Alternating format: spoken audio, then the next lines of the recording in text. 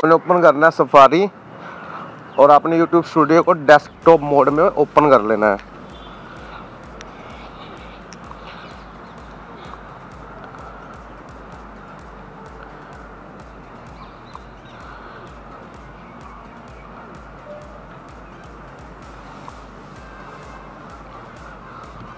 अब आपने जाना है यहाँ कस्टमाइजेशन पर।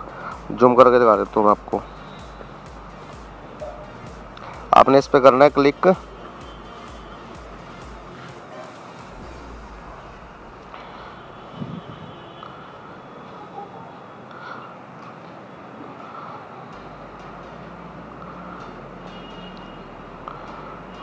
अब अपने साइड में दिख रहा है ना, ऑप्शन बेसिक इन्फो आपको इस पर करना है क्लिक। और यहाँ से देखिए कस्टम यू आप यहाँ से अपना यूआरएल एज यू विश जो आप लगाना चाहते हो।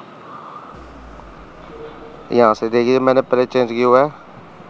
आप यहाँ पर अप, अपने अकॉर्डिंग चेंज कर सकते हो अपने यू को। और यहाँ से आपने सिंपली पब्लिश पर क्लिक कर देना इस तरह आप अपने चैनल का यू चेंज कर सकते हो। Thanks for watching